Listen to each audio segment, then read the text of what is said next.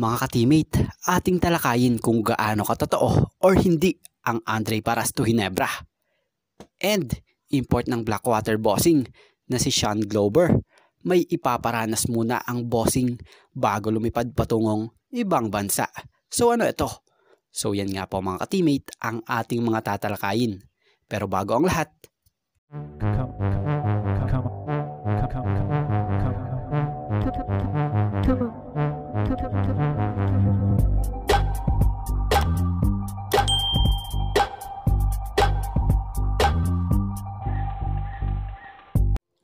So about nga muna tayo rito sa patungkol sa Blackwater import.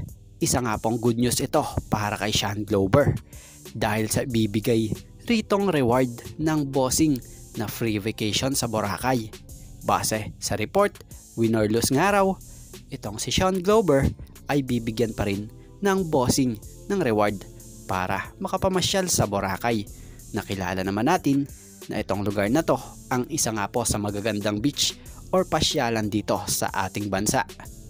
So dahil nga sa sobrang nakitahan nila etong si Sean Glover ng effort na kahit nga raw sa ensayo, sobrang hardworking player nito, ay gusto rin nga naman daw iparamdam ng kampo ng bossing na magpasalamat rin sa pamamagitan rin ng pagpasyal rito kay Sean Glover sa isa nga sa kilala ring pasyalan rito sa ating bansa.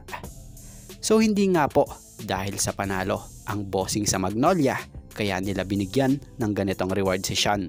Kundi manalo, matalo nga raw talagang may patrip to Boracay etong kampo ng Blackwater kay Sean Glover.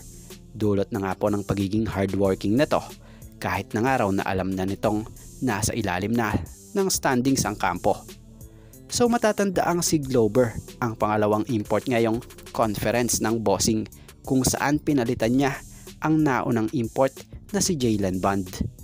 So sa pagdating ni Glover sa team na ito, eh naging agresibo nga agad ito at nakitahan ng koponan ng Blackwater ng sipag, mapapractice man yan or actual game.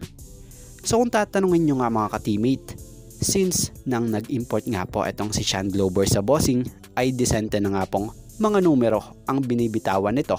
Kaya naman kahit nga po head coach ng bossing nagustuhan nito at naisipan pa nga rin pabalikin ito sa susunod na PBA Governors Cup next season.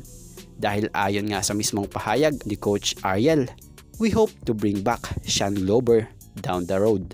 I think he's one of the better imports and hopefully we'll be able to bring him back in the future.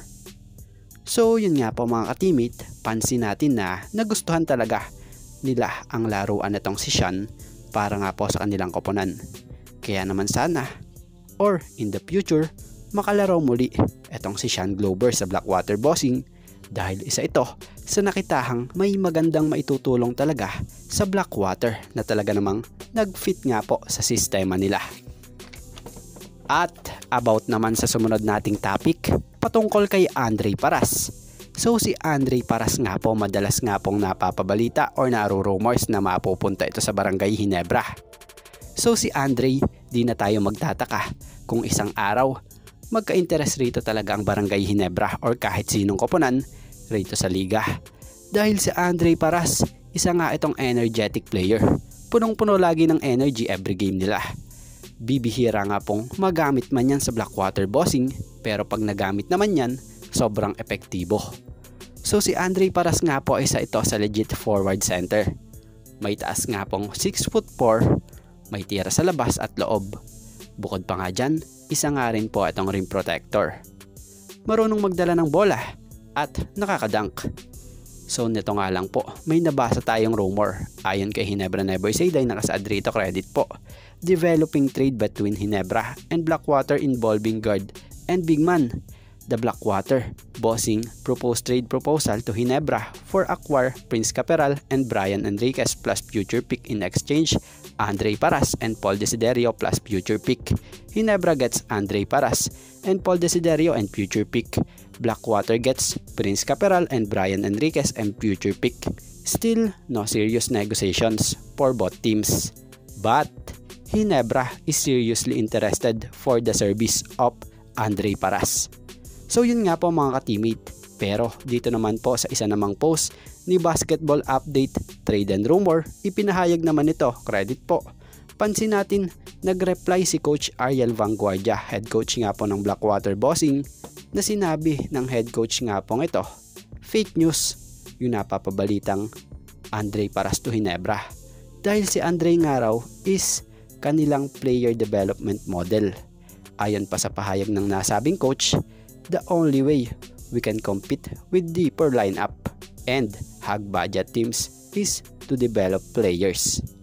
So yan nga po mga ka-teammate ang katotohanan base rito. Hindi nga po totoo na si Andre e bibitawan at mapupunta ito ng barangay Hinebra. Kaya naman, ang plano ng Blackwater Bossing ngayon e patuloy nilang palalakasin na lang ang team ng kanilang koponan. So ito nga lang po muna mga ka-teammate ang ating sports pasada. Shoutout sa mga solid nating ka-teammate na sila Michael Malesio,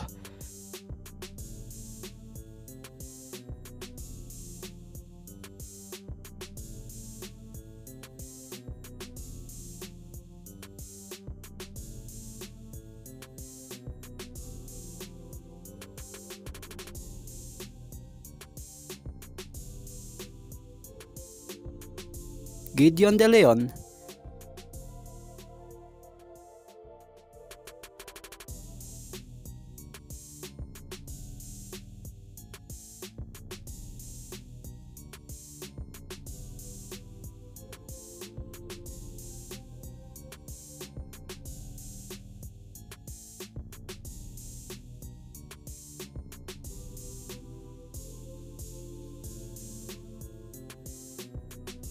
Giulio de Villarosa.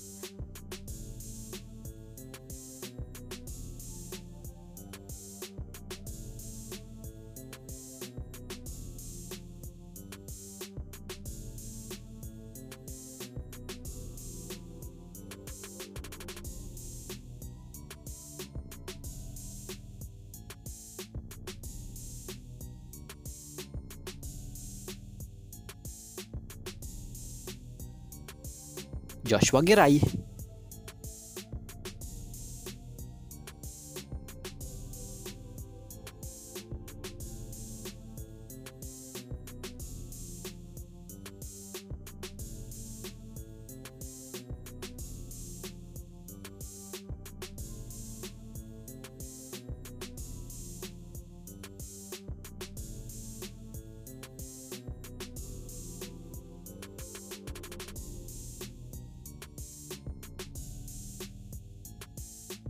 Edwin Duvibar,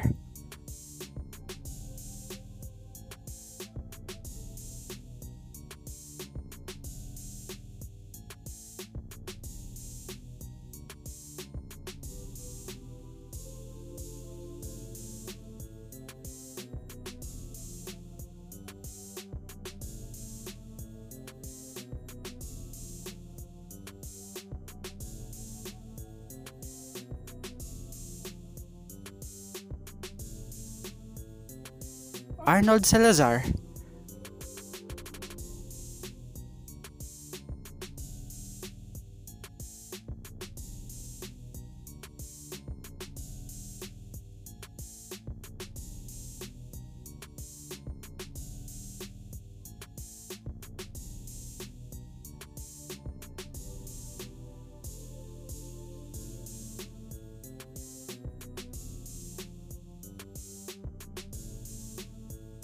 Romeo de la Fuente,